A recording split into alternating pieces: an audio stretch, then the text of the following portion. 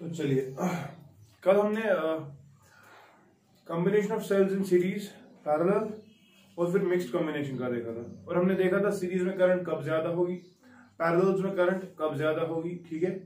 लेकिन हमने मिक्स्ड का मैंने आपको सवाल किया था कि करंट मैक्सिमम कब होगी, ठीक है ना? और हमने ये भी देखा था कि मैंने आपको बोला था कि ज़्यादातर हम मिक्स्ड कॉम्बिनेशन ही इस्तेमाल करते हैं in our day to day use and what was reason behind that वो भी कहा था ना। तो लेट अस सी कि mixed combination how how does it work now mixed combination को अगर मैं कंटिन्यू करूँ तो हमने मिक्स्ड कॉम्बिनेशन में देखा, शाबाश सेल जुड़ी होगी और उसका एक इक्विवेलेंट सर्किट जो हमारा बना था कल, शाबाश, वो कैसा बना था? हाँ हमारे पास नेट ईएमएफ जो था that was n times E है कि नहीं? और फिर इंटरनल रेजिस्टेंस उस सेल की थी कुछ, है ना? That was n r upon small m था कि नहीं? और फिर फाइनली एक एक्सटर्नल रेजिस्टर बाहर से जुड़ा हुआ था। क्या हो सके ना? और मैंने आपको कहा कि इस एक्सटर्नल रेजिस्टर के अक्रॉस हम देखेंगे कि अब करंट कितनी आएगी। और करंट कैलकुलेट करने के लिए शाबाश, हम use the expression that I current it is equal to शाबाश net EMF by net resistance what was net EMF it was n E था डिवाइडेड बाय शाबाश नेट रेजिस्टेंस अब चूँकि ये एन आर बाय एम और ये r series में connected है therefore the resistance will be n r by m plus capital R है ना? उस वाले केस में, पहले वाले केस में हमने देखा कि करंट ज़्यादा कब होगी? देखा था ना? लेकिन इस वाले केस में हमने नहीं देखा था। ना व्हाट यू सी हमने फिर एक्सप्रेशन को मॉडिफाई किया था। हमने बोला I is equal to E upon शाबाश मैंने एन डिनोमिनेटर में लाया था, जिसकी वजह से यहाँ बचा स्मॉल आर बाय एम और यहाँ पर बचा आर बाय एन यही बचा ना? यही थी ना करंट की expression now in order to maximize the current ठीक है? You need to reduce this denominator. This denominator must have a minimum value. और है कि नहीं? अगर आपको करंट मैक्सिमम चाहिए ना तो आप चाहेंगे कि आपका जो डिनोमिनेटर है r by m plus R by n this should have a minimum possible value and mathematics की एक टेक्निक है to find the minima and the maxima and the technique is you first of all calculate the first derivative and then equate that to zero ठीक है? अब सवाल यह है कि सर हम किसके साथ इसको डिफरेंशिएट करें? हम इसका डेरिवेटिव निकालें तो किसके साथ निकालें? तो मैंने आपको कहा कि आप इस इस, इस पार्ट का देखो in order to maximum in order to have maximum current शाबाश this r by m plus capital R by n this should have a minimum possible value ठीक है? Now in order to minimize this quantity what you will do you will try to differentiate it with respect to one of the variables देखो समझ लो। जब हमने cells connect की थी series और पैरेलल में इकट्ठे मिक्स कॉम्बिनेशन में तो हमने एन और एम वेरिएबल्स लिए ना। यहाँ से सीरीज़ में कितनी सेल्स जोड़ोगे आप और फिर नीचे कितने? तो एन और एम दोनों वेरिएबल्स तो what you can do you can change the value you can just keep one of them as variable या एम को वेरिएबल रखो। या एम को वेरिएबल रखो, ठीक है? either m or n then try to differentiate this expression with respect to either और n ठीक है? And then try to equate that expression to zero mathematics की technique and the technique is like this you try to differentiate d by dm. I am differentiating this this denominator with respect to m where n was the number of loops जितने आपने connect किए थे. Branches आपने कितने connect किए? याद है कल का? अच्छा कि, किसको करेंगे डिफरेंशिएट शाबाश. R by m plus capital R by ठीक है ठीक है कितना and then what will do will try to equate this expression to इसी ठीक है कि नहीं? जरा मुझे बताओ डिफरेंशिएट करके क्या आएगा?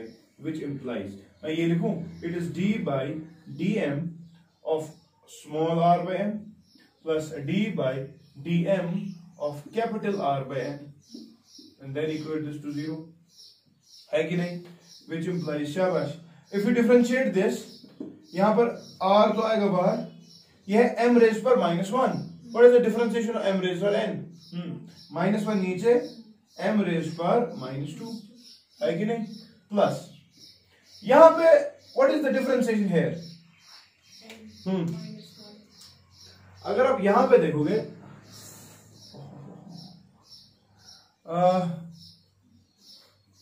differentiating this expression with respect to m, what will it give? हाँ I can I can just keep this as variable. यहाँ पे देखो अब समझना हमारे पास एम एन सेल्स थी सीरीज़ में, और फिर एम लूप्स थे। तो टोटल नंबर ऑफ़ सेल्स कितनी थी फिर? शाबाश। It was m into n था कि नहीं? जो हमारा सीरीज़ कॉम्बिनेशन में सेल जुड़े हुई थी ना, तब एन सेल्स थी ना सीरीज़ में, और लूप्स थे एम थे ना? देखो total number of cells m into n आसना कि ना तो m into n is say T total number of cells ठीक है? विच इंप्लाइज एन को मैं क्या लिख सकता हूँ? एन को टी बाय एम लिख सकता हूँ? लिख सकता हूँ कि नहीं? तो यहाँ पर क्या हो जाएगा फिर शाबाश? यहाँ पे हो जाएगा d by d m of r तो बाहर ही आएगा ना? वन बाय एन एन के बदले में लिख रहा हूँ टी बाय एम क्या लिख रहा हूँ? टी बाय एम और कुछ मैं यहीं पर करता हूँ वन बाय एन अगर आप लिखना हो क्या लिखेंगे टी एम बाई टी है ना? तो यहाँ पर डायरेक्ट लिखूँगा डिफ्रेंशिएटिंग वन बाय एन के बदले लिख रहा हूँ एम बाई टी ठीक है? I liquid this expression to ठीक है? Okay this can be written as शाबाश ये कैसे लिखूँगा मैं? हाँ ये आएगा minus r upon m square ठीक? प्लस एम आर तो कांस्टेंट है। ये वन बाई टी टी जो ना constant total number of cells constant है वो बाहर d by d m of m one equating this to zero ठीक है? Which implies r by T r by T के मतलब मैं लिखूँगा वापस m into n it is equal to शाबाश. R by m square r by m square ठीक है? अच्छा m and m will go which implies हाँ capital R by n should be equal to small r by so that, shabash, this term will get minimized. ओ ये important है। मैं कह रहा हूँ करंट मैक्सिमम करने के लिए हमारा डिनोमिनेटर मिनिमम होना चाहिए। और मिनिमम निकालने के लिए मैंने कहा you differentiate this expression with respect to one of the variables और one of the variables because m n and both are variables what I am doing मैं आपको कह रहा हूँ, दो में से एक के साथ डिफरेंशिएट कर दो। हमने एम के साथ डिफरेंशिएट किया। डिफरेंशिएट करने के दौरान हमें यहाँ पे परेशानी होने वाली थी ना एम बाई टी का कॉन्स्टेंट ज़ीरो ना। हमने कहा कि यहाँ पर मैंने ये एन जो है express that in terms of M ठीक है? जिसकी वजह से हमें एक्सप्रेशन आ रही है। That in order to have because we have equated this to zero this will give the minimum value कौन सा वैल्यू एंड देर फोर जब जब आर बाई एन बराबर होगा स्मॉल आर बाई एम को, तब तब आपका डिनोमिनेटर मिनिमाइज हो जाएगा and your currents will get maximize मानस में मैक्सिमम करंट कितनी होगी? शाबाश। शाबाश।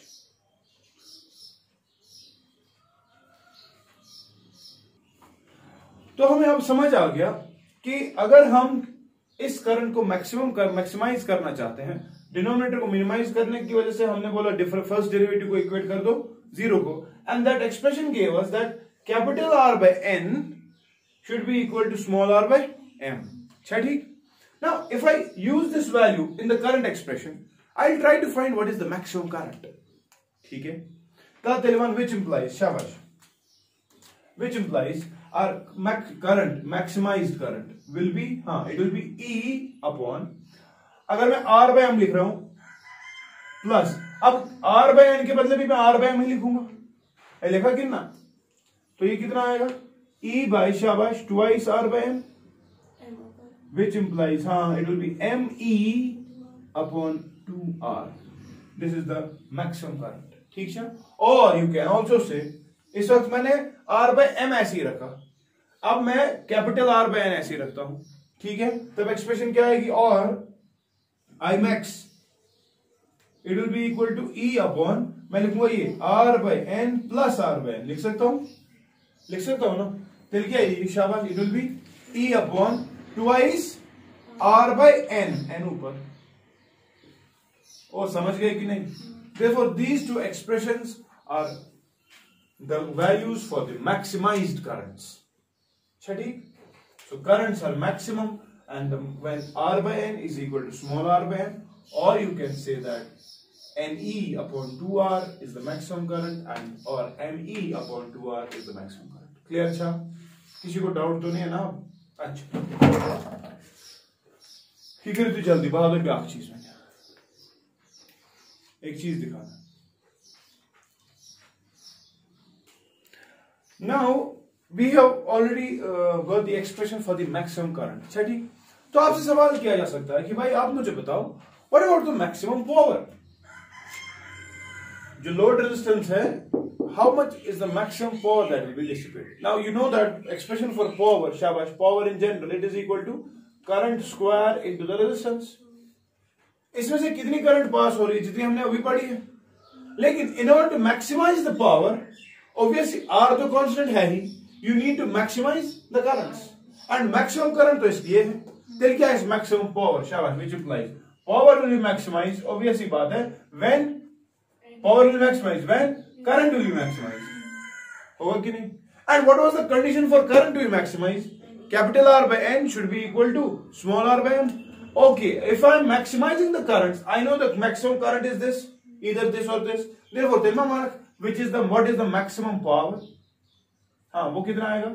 एक बार इसका स्क्वायर करते हैं इंटू आर करते हैं। जब इसका स्क्वायर हम करेंगे चलिए ये M square E square divide by four small R square है ना? इंटू कैपिटल आर या हम कह सकते हैं, अब हम इस वाली करंट को स्क्वायर करें N square E square divided by four capital R square into R शाबाश it will be only R ठीक so this expression or this expression is valid and it is the expression for the maximum power. And remember, whenever you are trying to maximize the power, whenever you are trying to maximize the current, the condition is same that capital R by small n, it is equal to small r by capital M, where n is the number of cells in series and m is the number of branches in parallel. पढ़ा था ना कल की diagrams clear है ना तो उस हिसाब से आप इस चीज़ को समझ सकते हैं। ठीक है कि नहीं? ठीक है अब अगर कोई ध्यान दे इस एक्सप्रेशन पे, थोड़ा सा आप ध्यान दे दो। हमने मैक्सिमम पावर निकाल दिया हमने मैक्सिमम करंट निकाल दी, कोई इशू नहीं। लेकिन अगर आप इस चीज़ को थोड़ा सा ध्यान दें, इस चीज़ को, मैं आप हटा रहा हूँ सारा। मैं एक चीज़ आपको दिखाना चाहता हूँ। इस एक्सप्रेशन को मैं ले रहा हूँ और। आर बाय एन शाबाश it is equal to small R by small M है? मैं लिख सकता हूँ विच इंप्लाइज मैं लिख सकता हूँ capital R is equal to N small R by M लिख सकता हूँ। वॉट इज़ कैपिटल आर हाँ। It is the external resistance check ना। What is this small n into r by m? It is the net internal resistance. Therefore, what you are seeing actually, हमें चलो ठीक है अभी तक हमें समझ नहीं आया लेकिन अब हमें समझ आ रहा है। हमें समझ आ रहा है कि भाई एक्सटर्नल रेजिस्टेंस को अगर तू इंटरनल रेजिस्टेंस के बराबर करता है अगर तूने एक्सटर्नल रेजिस्टेंस किसके बराबर कर दी? इंटरनल रेजिस्टेंस के बराबर कर दी ठीक है? अगर आपने ये दो चीज़ें इक्वेट कर दी हमने देखा करंट्स भी मैक्सिमाइज हो रही है। हमने देखा पावर भी मैक्सिमाइज हो रहा है। ठीक है? तो remember in order to maximize the currents in order to maximize the power remember you have to get your internal and the external resistances to same particular value clear है कि नहीं? ठीक है कि नहीं? ठीक है रिमेंबर इस चीज़ को that external resistance should be equal to internal resistance this is called as शाबाश this is called as Jacobi's law क्या बोलते हैं इसको? क्या कहते हैं? This was given by Moritz von Jacobi किसने दिया था? मॉरिट्स वॉन जेकॉबी पता है कब? 1840 में।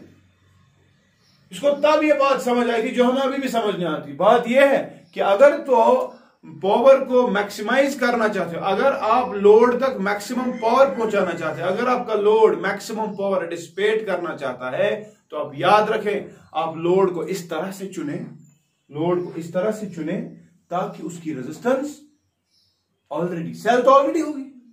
सेल की रेजिस्टेंस के बराबर हो क्लियर अच्छा कितना ठीक है कि नहीं? और this theorem is sometimes also called as maximum power transfer theorem इंशाल्लाह मैं अभी इसको अलग से लेता हूँ। ठीक है?